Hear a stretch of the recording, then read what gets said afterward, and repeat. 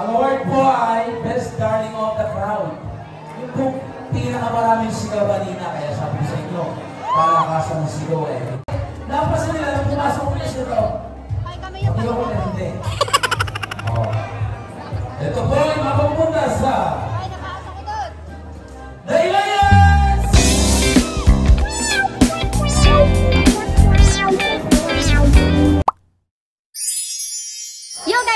up? It's me, Sai again, and welcome back to my YouTube channel. Ay, pak na pak, be, aurang-aura for today's video. Ito na hinihintay nyo ha, yung maasim na Muse entry. Tingnan nyo si Shameno. Oh, Wow. di ba Muse din? Muse din yan. So may vlog si Shamay sa kanilang YouTube channel and may vlog din si Husky Pack TV kasi kasama namin si Hercules. Ito na ang outing at outfitan for today. Wow! Yan lang naman mga bebs, ang outfitan natin. Very maasim lang. Ay! Napakagandang bata! Wala pang puyod. Magpapuyod yan mamaya. Okay guys! Tignan nyo naman si Shamay, no? And si Hercules! Wow! Woo, let's go! Hi guys! Hello po kayo. Kuya! Ayan na. For the rampa na tayo. Mag-hi naman kayo! Yeah. For the walk na tayo. Pakainit. Ito si Vocal guys. Oh. May tagapayong ako.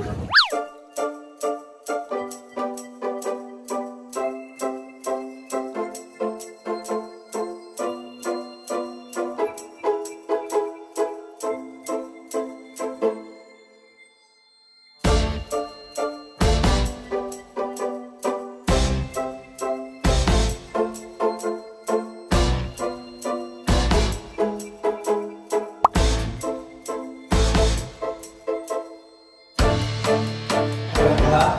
Pwede bang lot ng mga kumit?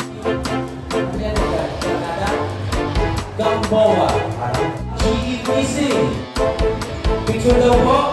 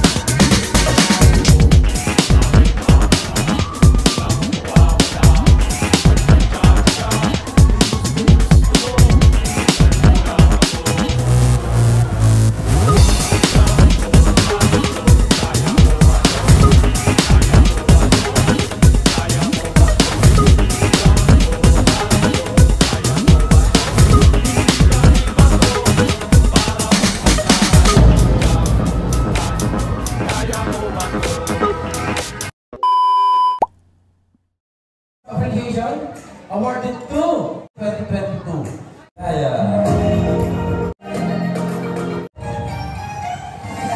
ang award po ay Best Darling of the Crowd. Yung po pinakamaraming sigaw kanina, kaya sabi sa inyo, palakasan ng sigaw eh, di ba? Eh, napasa nila nang pumasok ko sa ito. Sabi ko na hindi. Oh. Ito po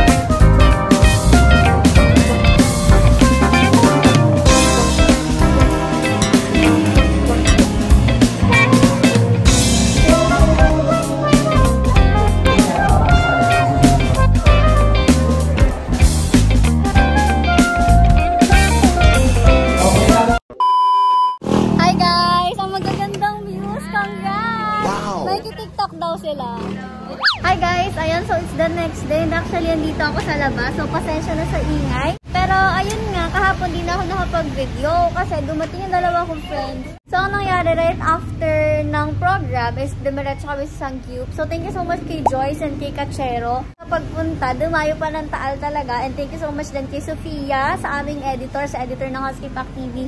Pumunta rin siya para makapag-video-videohan ako kasi nga hindi ko nga carry. So, ayun, thank you so much sa inyo. Then, kasi naging best in, ano nga yun? Darling of the crowd tayo. Kayo yung nanalo doon, hindi ako talaga. Kayo talaga yung sumigaw ng malakas nagpakapaos para sa akin. So, thank you so much guys. Ayan.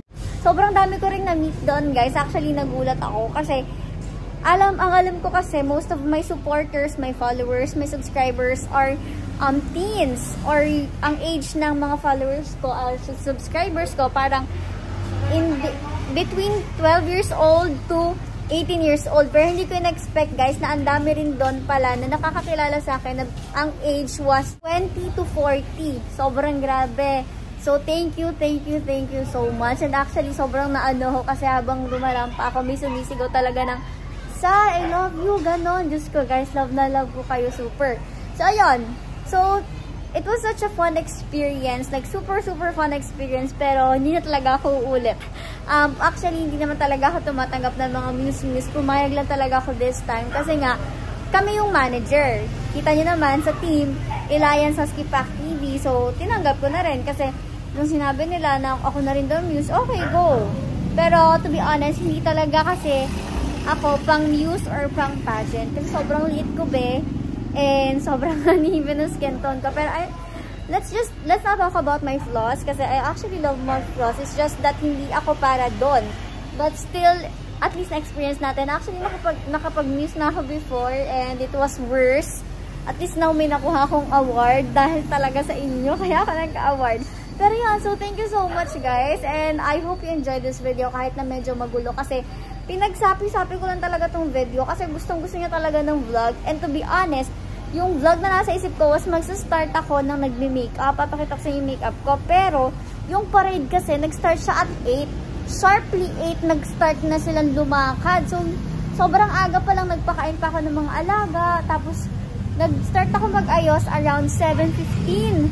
My goodness, 7.15 ako nag-ayos be. Kasi nun lang ako nakatapos magpakain ng mga alaga, magpainom ng gamot, maglinis, ganun.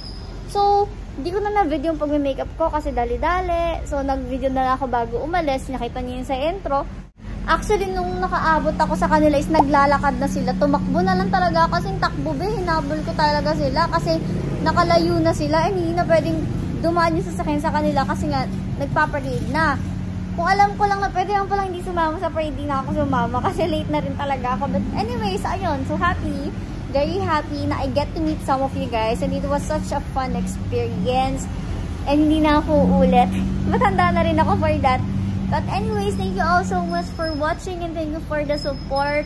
Ang sarap lang sa feeling na ngayon ko kayo na-meet, ang dami kong na-meet and ang na-realize ko na sobrang dami na pala talaga natin. So thank you so much and I hope you enjoy this, I hope you do enjoy this video. So hanggang doon na lang muna guys. Yun lang muna for today's video. Always remember to be beautiful. O, diba? Di ko nakalimutan. So, yun lang for today's video guys. And I'll see you guys on tomorrow's video kasi nahihiyan ako mag-vlog dito sa public. Bye!